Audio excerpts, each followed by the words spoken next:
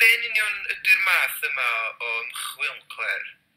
Wel, dwi'n benodol yn edrych ar bwysigrwydd lliw er mwyn deall y byd o'n cwmpas a'r rôl mawr mewn i chwarae ar sut da ni'n gweld y byd da ni fel pobl yn gweld lot fawr fwy o arliwiau o wyrdd nac o unrhyw liw arall.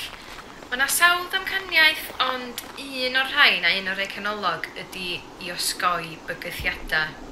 Dio ddim mella mor berthnasol heddiw, ond pan da ni'n sbio nôl ar sut oedd pobl yn byw ganrifoedd yn ôl, mae'n gwneud lot fawr o synwyr bod ni angen gallu gwahaniaethu rhwng y lliwiau yma er mwyn goroesi trwy yr amgylchedd oedden ni'n byw ynddo fo ar yr adeg.